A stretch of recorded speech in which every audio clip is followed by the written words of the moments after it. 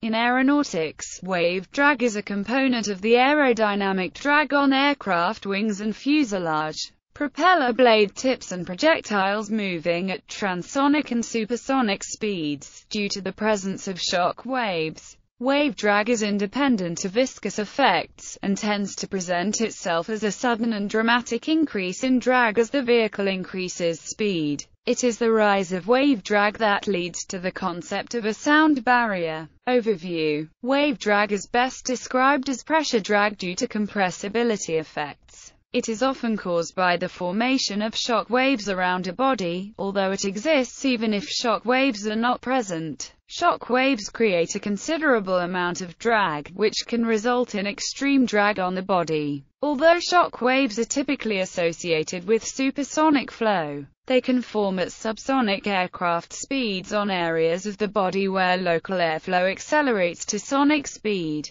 The effect is typically seen on aircraft at transonic speeds, but it is possible to notice the problem at any speed over that of the critical Mach of that aircraft. It is so pronounced that, prior to 1947, it was thought that aircraft engines would not be powerful enough to overcome the enhanced drag or that the aircraft would be at risk of breaking up in mid-flight. It led to the concept of a sound barrier. Research when the problem was being studied, wave drag came to be split into two categories, wave drag caused by the wing as a part of generating lift, and that caused by other portions of the plane. In 1947, studies into both problems led to the development of perfect shapes to reduce wave drag as much as theoretically possible. For a fuselage the resulting shape was the Sears-Haack body, which suggested a perfect cross-sectional shape for any given internal volume. The von Karman ogive was a similar shape for bodies with a blunt end, like a missile.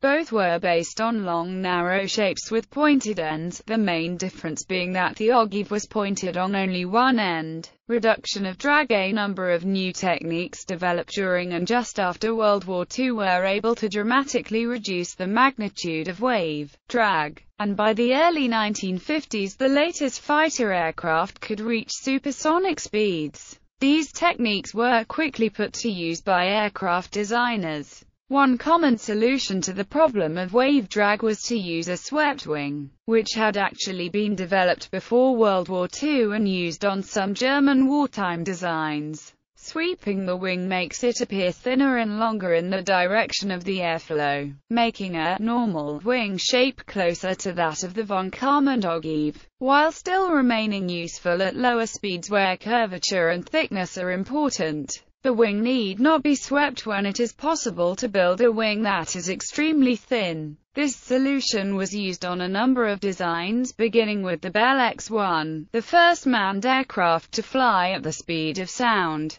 The downside to this approach is that the wing is so thin it is no longer possible to use it for storage of fuel or landing gear. Fuselage shaping was similarly changed with the introduction of the Whitcomb area rule. Whitcomb had been working on testing various airframe shapes for transonic drag when, after watching a presentation by Adolf Busemann in 1952, he realized that the Sears-Haack body had to apply to the entire aircraft. This meant that the fuselage needed to be made narrower where it joined the wings, so that the cross-section of the entire aircraft matched the Sears-Haack body, not just the fuselage itself. Application of the area rule can also be seen in the use of anti-shock bodies on transonic aircraft, including some jet airliners. Anti-shock bodies, which are pods along the trailing edges of the wings, serve the same role as the narrow-waist fuselage design of other transonic aircraft.